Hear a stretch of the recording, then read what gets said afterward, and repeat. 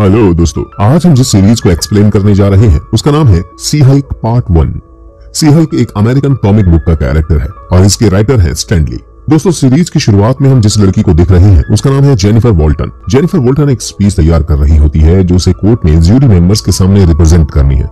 वास्तव में यही लड़की सी हल्क है, जो पेशे से एक वकील है। केस में मदद करने के लिए उसके दो असिस्टेंट हैं, जिनका नाम है निकी और डेनिस वो दोनों से डिस्कस करती है कि उसे इस केस को किस तरह से जीतना है। तभी जेनिफर कैमरे की तरफ़ देखती है। ब्रेकिंग ए फोर्थ वॉल्स और लोगों से बात करती है और ऑडियंस को बताती है कि वो हल्क कैसे बनी। इसके बारे में बताते हुए ये मूवी हमें कुछ महीने पीछे ले जाती है, जिसमें जेनिफर बताती है कि वो एक बार अपने कजिन ब्रूस बैनर के साथ रोड ट्रिप पर गई थी। ब्रूस बैनर हमारे वही पुराने हल्क हैं, जिन्हें हम बहुत पहले से देखते आए हैं। यहाँ पर हमें एक और बात पता चलती है कि ब्रूस बैनर का हाथ अब ठीक होने लगा है और उन्होंने एक डिवाइस बना ली है जो कि ब्रूस बैनर को उनके ह्यूमन फॉर्म में रखता है। अगर ब्रूस बैनर ने ये डिवाइस निकाली तो वो फिर से प्रोफेसर हल्क बन जाएगा। जब तक ये डिवाइस उसके हाथ में रहेगी, तब तक वो ह्यूमन ही रहेगा। यानी इस हल्क की पूरी ज़िंदगी अब सिर्फ़ इस डिवाइस पर डिपेंड करती है।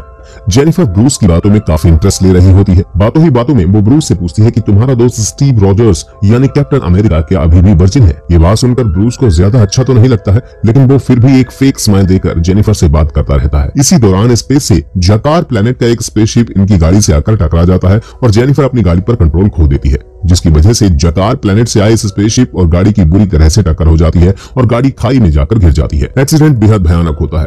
इस एक्सीडेंट में जेनिफर और ब्रूस दोनों को बहुत ज़्यादा चोट आती है और काफ़ी खून भी बह रहा होता है। जेनिफर जैसे तैसे खुद को संभाल कर ब्रूस की मदद करने के लिए उसके पास जाती है। ब्रूस जेनिफर से कहता है कि वो उससे दूर रहे और उसे टच ना करे, लेकिन जेनिफर उसकी कोई बात नहीं सुनती। वो सिर्फ़ ब्रूस को इस हालत में देखकर उसकी मदद करना चाहती है। अब जैसे ही जेनिफर की गलती से ब्रूस का खून उसकी चोट के साथ मिल जाता है, उसके बाद हमें पता चलता है कि ब्रूस के खून में गामा रेज है और इसलिए ब्रूस जेनिफर को अपने से अलग कर रहा था। ब्रूस को बहुत ज़्यादा गुस्सा आता है और वो बहुत ज़ोर से चिल्लाने लगता है। उस स्पेसशिप को देखने के बाद ब्रूस के गुस्से के बाद, उसका शरीर हल्क में बदल जाता है और अब वहाँ पर वो हो रहा था जो ब्रूस कभी नहीं चाहता था कि ऐसा किसी के भी साथ हो, क्योंकि अब जेनिफर वॉल्टियर से सी हल्क बन चुकी थी। क्योंकि जेनिफर के खून में ब्रूस के खून की वजह से गामा रेडिएशन के साथ साथ ब्लड म्यूटेशन भी हो चुका था।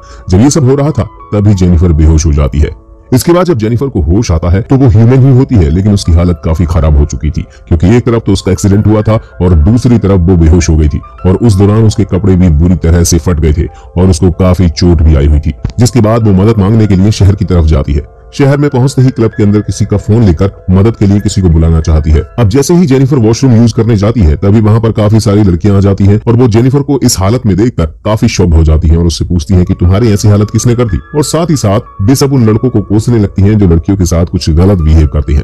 उन्हें ऐसा लग रहा था की जेनिफर की इस हालत के पीछे उन्हें गंदे लड़कों का हाथ है और साथ ही वो लड़कियाँ काफ़ी हेल्पफुल होती है, जो जेनिफर को काफ़ी अच्छे से तैयार कर देती है। इसके बाद जेनिफर क्लब से बाहर आ जाती है और वो अभी भी फ़ोन करके किसी से मदद मांगना चाहती है। लेकिन इसी दौरान उस क्लब से कुछ लड़के बाहर निकल कर आते हैं और वो जेनिफर के साथ बदतमीजी करने लगते हैं। उसे गलत गलत तरीके से बोलने लगते हैं। जैसे, हाय आइटम, कहाँ जा रही हो? लेकिन इन सब बातों को इग्नोर करके जेनिफर आगे बढ़ने लगती है। जब इस बदतमीजी की हद पार हो जाती है, तब उसे इन बातों पर काफ़ी गुस्सा आ रहा होता है और वो गुस्से में चिल्लाने लगती है। गुस्से की वजह से जेनिफर हल्क में बदल जाती है। जेनिफर की हालत को देखकर उन लड़कों की हालत पतली हो जाती है। लेकिन तभी वहाँ पर ब्रूस बेनर पहुँच जाता है और उसे कंट्रोल करके अपने छिपे हुए आइलैंड पर ले जाता है। नेक्स्ट मॉर्निंग जब जेनिफर की आँख खुलती है तो वो खुद को एक सुनसान आइलैंड पर पाती है। ये आइलैंड ब्रूस को खुद टोनी स्टार्क ने गिफ्ट किया था। इस लैब में ब्रूस अपने आप को डॉक्टर हल कहकर बुलाता है और अपना पूरा टाइम खुद पर स्टडी करते हुए गुजारता है। जेनिफर ब्रूस से पूछती है कि आखिर मेरे साथ ये सब हो क्या रहा है? जब भी मुझे गुस्सा आता है तो मैं हल्क में कैसे बन जाती हूँ? तभी डॉक्टर हल्क उसे बताता है कि जब हमारा एक्सीडेंट हुआ था, तब गलती से मेरा खून तुम्हारे खून के साथ मिक्स हो गया था और म्यूटेशन के कारण तुम एक हल्क बन चुकी हो। ये सुनकर जेनिफर काफ़ी शॉक्ड हो जाती है और वो सोचती है कि क्या मेरी कोई नॉर्मल लाइफ नहीं रह जाएगी? और साथ ही वो अपनी उस पुरानी लाइफ के बारे में काफ़ी कुछ सोचने लगती है। जेनिफर को परेशान देखकर ब्रूस उसे बताता है कि जैसे जैसे किसी के पास सुपर पावर आती है तो उसके पास सुपर रिस्पॉन्सिबिलिटी भी होती है। अगर तुमने इन रिस्पॉन्सिबिलिटी को निभाना नहीं सीखा और अपने गुस्से पर कंट्रोल नहीं किया तो तुम पता नहीं कितने लोगों का नुकसान कर बैठोगे। इसलिए तुम्हारा इस वक्त यहाँ से जाना खतरे की घंटी साबित हो सकता है। तुम्हें यहाँ पर कुछ समय रुक खुद को कंट्रोल करना सीखना होगा, खुद के गुस्से को कंट्रोल करना होगा। ये बात सुनकर जेनिफर ब्रूस से पूछती है आखिर मुझे ये सब सीखने में कितना समय लगेगा? तो ब्रूस उसे बताता है कि यही कोई 10 से 12 साल। जेनिफर ये सुनकर काफ़ी परेशान हो जाती है, क्योंकि वो इस गंदे आइलैंड पर नहीं रहना चाहती। लेकिन अब उसके पास कोई दूसरा ऑप्शन नहीं बचता है, क्योंकि उसे खुद को कंट्रोल तो करना ही होगा। इसलिए ब्रूस के द्वारा जेनिफर की ट्रेनिंग शुरू हो जाती है। शुरुआत में ये ट्रेनिंग जेनिफर के लिए काफ़ी टफ होती है, लेकिन ब्रूस कभी तो जेनिफर को आधी रात में जगा देता है और उसे एक्सरसाइज करने के लिए बोलता है। लेकिन ब्रूस ट्रेनिंग कराते हुए जेनिफर ने एक बात नोटिस करता है कि जेनिफर ब्रूस बैनर के माइंड से खुद को कोऑर्डिनेट कर पा रही है और साथ ही बहुत ही अच्छे से अपनी बॉडी को कंट्रोल करने का एक रिस्पॉन्स दिखा रही है, जो की ब्रूस के केस में नहीं था। ब्रूस जब हल्क बना था, तब उसके पास अपने आप को कंट्रोल करने के लिए दो अलग अलग सोच थी।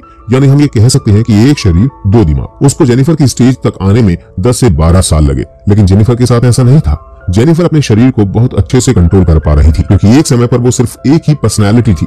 और ज़्यादा अपनी बॉडी को कंट्रोल करने के लिए ये दोनों जिम्नास्ट भी करने लग जाते हैं और साथ ही योग भी। ये सब चीज़ें जेनिफर बहुत जल्दी सीख जाती है और देखते ही देखते कुछ दिनों में जेनिफर ब्रूस से ज़्यादा ताकतवर भी बन जाती है। ये देखकर ब्रूस को जेनिफर से थोड़ी सी जलन फील होने लगती है, क्योंकि ब्रूस को ये सब सीखने में बहुत लंबा समय लगा था, लेकिन जेनिफर उन सब कामों को बहुत ही कम समय में पूरा कर रही थी। इसी दौरान ब्रूस जेनिफर से कहता है कि एक हल्क बनने के जितने नुकसान है उतने ज़्यादा फ़ायदे भी हैं। आओ, मैं तुम्हें इन सब फ़ायदे के बारे में बताता हूँ। इसके बाद ब्रूस जेनिफर को अपने आइलैंड पर बने क्लब के अंदर लेकर जाता है और वहाँ पर जाकर ये दोनों खूब ज़्यादा ड्रिंक करते हैं। अब जैसे ही नेक्स्ट सुबह होती है जेनिफर अपने इंसानी शरीर में होती है, जिसकी वजह से उस शराब का असर उसके ऊपर होने लगता है और उसके सर में काफ़ी दर्द होने लगता है। इस हैंगओवर को उतारने के लिए ब्रूस उसे योगा करने के लिए कहता है, लेकिन जेनिफर ये सब करके काफ़ी परेशान हो चुकी होती है और अब वो ब्रूस से कहती है कि मुझे मेरी पुरानी लाइफ में लौटना है और मुझे पुरानी लाइफ को जीना है, जैसे कि अपने क्लाइंट से मिलना केस लड़ना, दलीलें पेश करना और पैसा कमाना। लेकिन ब्रूस उसे मना कर देता है, क्योंकि उसे अभी भी लगता है कि जेनिफर अभी भी पूरी तरह से खुद की बॉडी को कंट्रोल करने के लिए तैयार नहीं है। इस बात पर जेनिफर उसके सामने खुद को पहले तो हक बनाती है और फिर खुद को एक नॉर्मल इंसान बना देती है। लेकिन ब्रूस को अभी भी विश्वास नहीं हो रहा होता कि सब कुछ ठीक हो रहा है। इसी दौरान इन दोनों के बीच में काफ़ी बहस होने लगती है। बहस इतनी बढ़ जाती है कि अब ये दोनों एक दूसरे को अपनी अपनी ताकत दिखाने लगती है। कभी ब्रूस अपनी ताकत का ज़ोर दिखाकर जेनिफर को बहुत दूर फेंक देता है और दूसरी तरफ़ जेनिफर भी ब्रूस को अपनी छुपी हुई ताकत दिखा रही होती है और इस सीरीज़ में ये सीन काफ़ी खूबसूरत दिखाई देता है। जहाँ पर एक और तो हल्क है और दूसरी तरफ़ सी हल्क, जो एक दूसरे से लड़ाई कर रही होती है और अपनी ताकत का प्रदर्शन कर रही होती है। इस लड़ाई का निष्कर्ष ये निकलता है कि अब ब्रूस को जेनिफर पर विश्वास हो जाता है कि वो अपने आप को कंट्रोल कर सकती है और वो बिना किसी कारण हल्क बनकर किसी को नुकसान नहीं पहुंचाएगी। इसके बाद ब्रूस जेनिफर को उस आइलैंड से वापस भेज देता है और ये मूवी फिर वहीं पर शुरू हो जाती है जहाँ से जेनिफर अपनी कहानी बता रही थी। और इस दौरान जेनिफर कोर्ट में होती है। तभी वहाँ पर एक सुपर विलेन पहुँच जाती है जो की आम लोगों को नुकसान पहुँचा रही होती है। तभी निकी जेनिफर से कहती है की यही तो सही टाइम है अपने आप को एक्सपोज करने का सुपर विलेन से लड़ने और लोगों को बचाने का। पहले तो जेनिफर ये करने से मना कर देती है, क्योंकि उसे ब्रूस की बात याद रहती है। जब तक कि बहुत बड़ी कोई प्रॉब्लम नहीं आ जाती, तब तक उसे खुद को कंट्रोल में रखना है। लेकिन कुछ देर बाद सुपर विलेन और भी ज़्यादा परेशान करने लगती है और स्थिति आउट ऑफ़ कंट्रोल हो जाती है, जिसकी वजह से जेनिफर खुद को सी हल्क में चेंज कर लेती है और उस सुपर विलेन को बुरी तरह से हरा देती है। और ये बात पूरे शहर में मीडिया के ज़रिए आग की तरह फैल जाती है कि अब हम लोगों के बीच एक और हल्क आ चुकी है। और इसी सस्पेंस के साथ ये एपिसोड यहीं पर खत्म हो जाता है।